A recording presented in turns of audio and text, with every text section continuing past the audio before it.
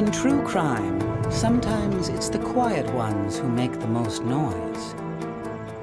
Charlottetown, Prince Edward Island. Inside the provincial legislature, the leader of the opposition fields questions. Yes, uh, we have a limited amount of forestry and...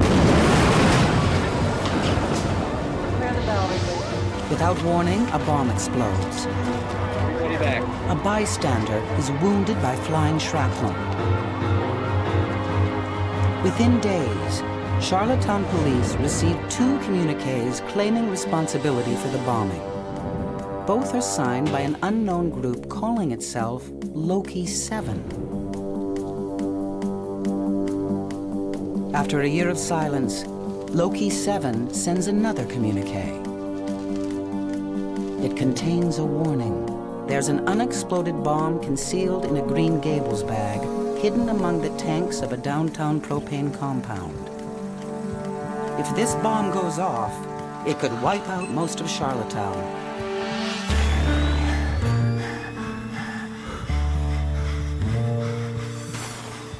In true crime, investigation and conviction may take years. But every detective knows that the crucial clue is always there, somewhere, in the first 72 hours.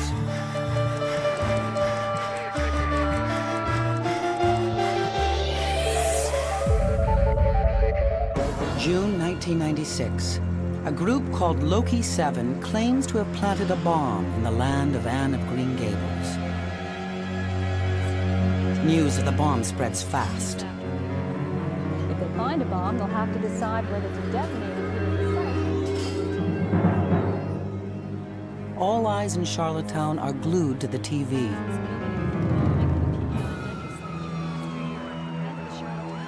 The bomb squad searches among tightly packed and explosive propane tanks. They find the bag, and inside a large pipe bomb.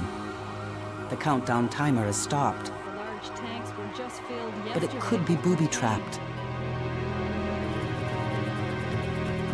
What the patrons of the local bar don't know is that if the bomb explodes, the blast will level a mile-wide radius of the city, including their bar.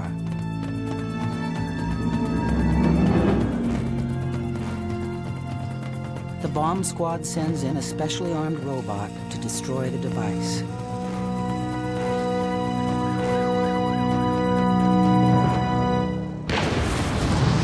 Twenty-four hours after receiving the warning communique, the bomb is destroyed in a controlled explosion. Mike Quinn, a detective with Charlottetown Police, is in charge of the investigation. Two bombings, one year apart. What's happening to his gentle city? It's a small community area. Everybody pretty well knows everybody. The, the citizens and the community in, in general were, were quite uh, scared and, and upset.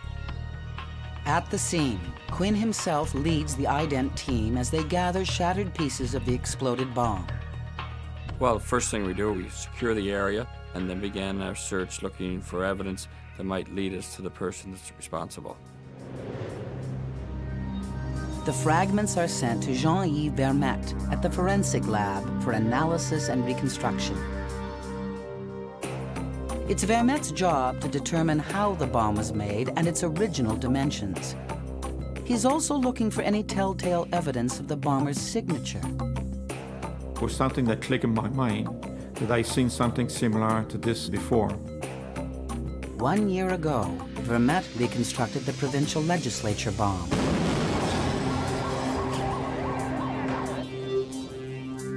He's convinced the new bomb was made by the same hands. The group Loki 7 clearly has an expert bomb maker.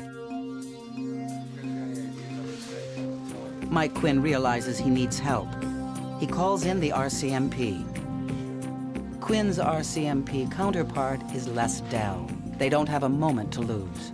We set up the suspect list by going to our databases. We were looking for anything that was related to the bombings, whether they were high school kids putting bombs in mailboxes or people making bomb threats at companies, um, anything that was related to the word bomb. They generate a list of more than 30 suspect groups. Dell starts with the one clue the task force has, the communiques themselves. Each one of them would have a stylized swastika as a letterhead. Dell examines 23 known styles of swastikas displayed by skinheads and neo Nazi groups. The Loki 7 symbol doesn't match any of them. But the name Loki is real to any student of mythology or classical music. He's a spirit of evil, of flame and fire in Norse mythology. A lead character in Wagner's opera, Götterdämmerung, the twilight of the gods. But this is no help in determining whether Loki 7 is a group or an individual. Mike Quinn relies on his own gut instinct. There was no uh, street talk, there was no uh, uh, scuttlebutt uh, rumors around who might have been involved. So we pretty well determined that it was an individual working on his own. An individual filled with venom and hatred. He was talking about uh, white supremacist stuff. He was he didn't like the Jews. He didn't like big business. He didn't like politicians. He didn't like anybody in authority. To think about what kind of human being would actually would actually compose them and then send them out to, for the world to see, it kind of alarmed us. Dell is intrigued by the similarities between the violent methods of Loki 7 and the infamous American Unabomber recently captured by the FBI. Both expressed a violent hatred of society, and both communicated that hatred in typewritten messages. The first communique was typewritten, and it was typewritten with a Smith Corona portable typewriter. That was right around the time that the Unabomber had been caught. Uh, there was a trial in the newspaper, and the evidence was coming out. The FBI had used his typewriter as evidence. It was immediately after that Loki disposed of his typewriter and started using press-on letters. Loki 7 is clearly learning from the Unabomber's mistakes. Now he photocopies his communiques, obliterating fingerprints. Envelopes are sealed with water, leaving no trace of saliva for DNA identification we were faced with the idea that after an 18-year investigation with the FBI, and the Unabomber had just been caught, and we are thinking, oh my God, it's going to take us that long or even longer to find this person. But the task force doesn't have that kind of time. They know how narrowly they escaped disaster at the propane depot. We could have lost a great bit of Charlottetown. We could have had explosion after explosion after explosion. 72 hours into the investigation, the police still have no idea who they're looking for. Loki 7, the serial bomber, could strike again at any moment.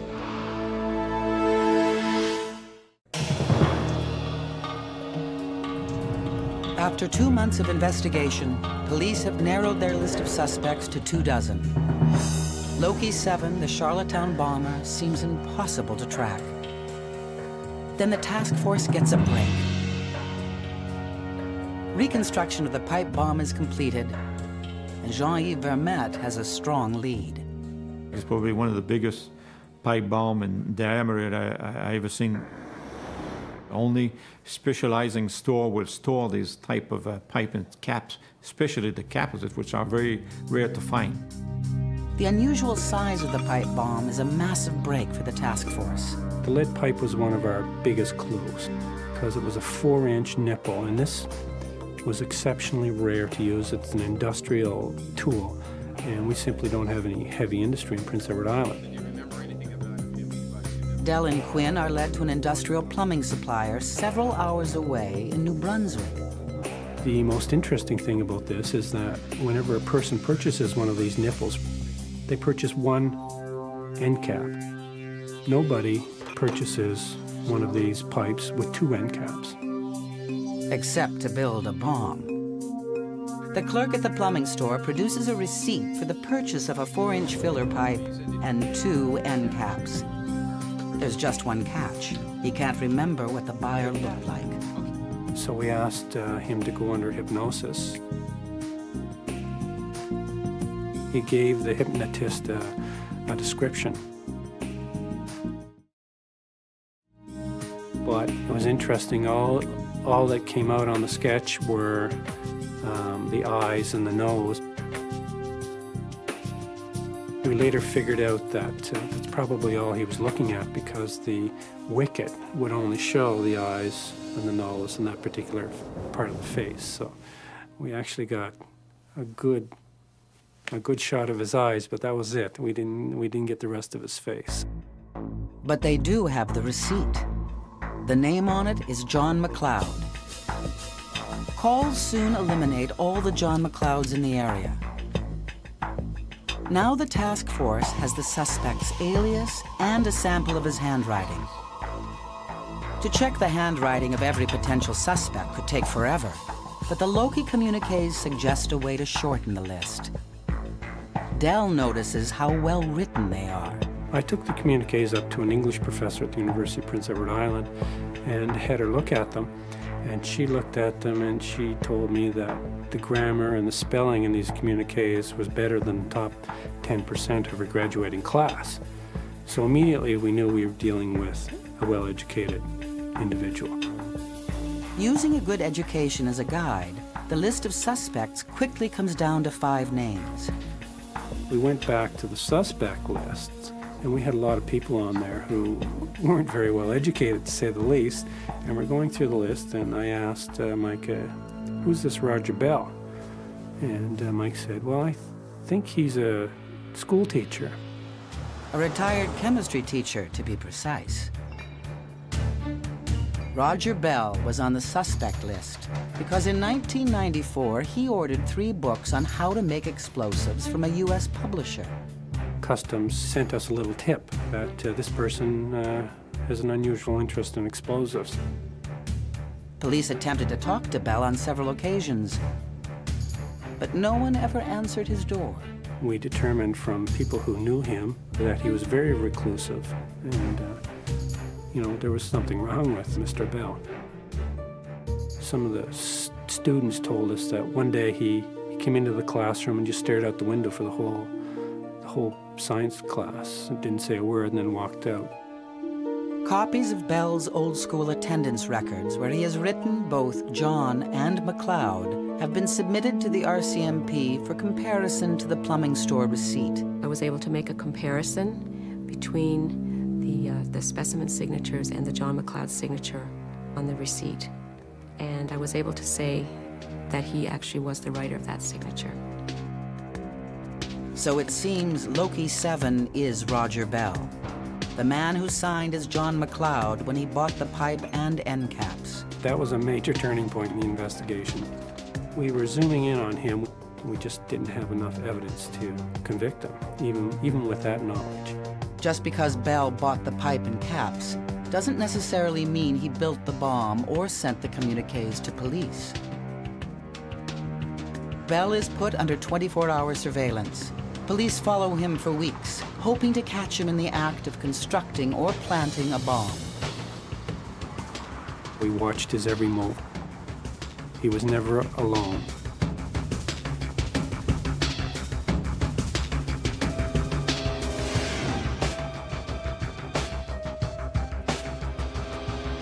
I was sitting in the library doing surveillance. He had carried in a large bag full of something that was heavy, obviously, and we didn't know what it was. As we were watching them, a, a, class came into the library. Here's a whole class sitting just feet away from this notorious bomber, and they had no, no idea what was in this sack. But today it's only books, not bombs, that Bell is carrying.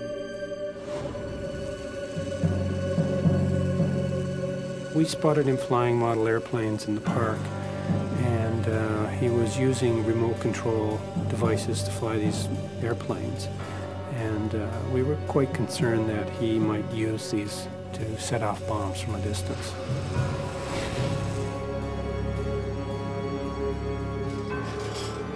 Dell even tries to strike up a conversation with Roger Bell.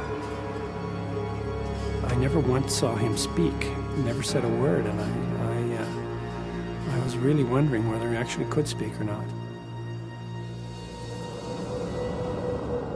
Without enough evidence to obtain a search warrant for Bell's apartment, police resort to more resourceful ways of learning Bell's secrets. They collect his outdoor garbage bags. It's clear that Bell is starting to destroy evidence. They find discarded clippings about the Unabomber and something even more disturbing.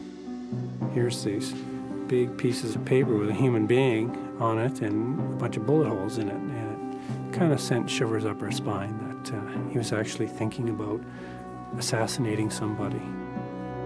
Roger Bell is now armed and even more dangerous.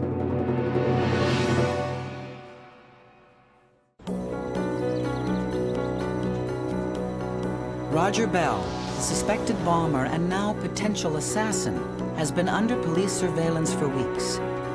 Police cannot arrest him unless he commits an openly illegal act, but Bell doesn't. Police get a break when Detective Quinn tracks down a relative of Bell who was once quite close to him. She provides insights into his character that complete the puzzle of Roger Bell.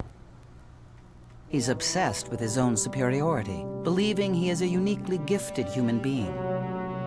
He feeds his fantasies with a steady diet of Wagner's operas, Nietzsche's elitist philosophy, and Nazi memorabilia.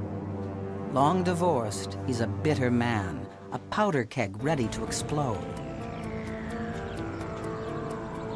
But Bell has a long fuse.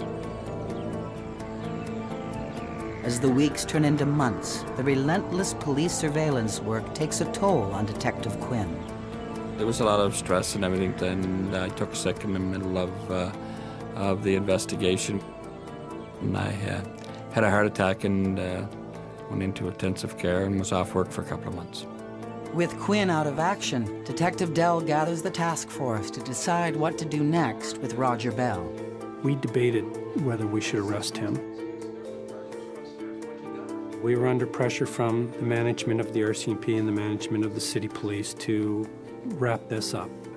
We decided, okay, we've got enough grounds here to do a search warrant, but having grounds to do a search is not grounds, is not enough evidence to convict somebody. It's a tough call. Arrest him too soon and he might walk free. Wait until you find more evidence and he might strike again. It's a gamble either way. Dell makes the hard decision. Early morning, Bell's apartment.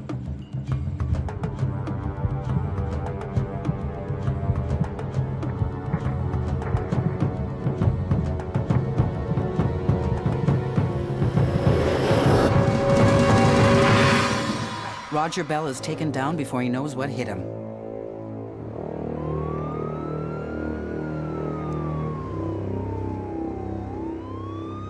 I interviewed Mr. Bell for about eight hours, and he wasn't talking to us at all. He uh, would just stare at the wall, and uh, he'd tell us his name, and that would be it. He just was not talking.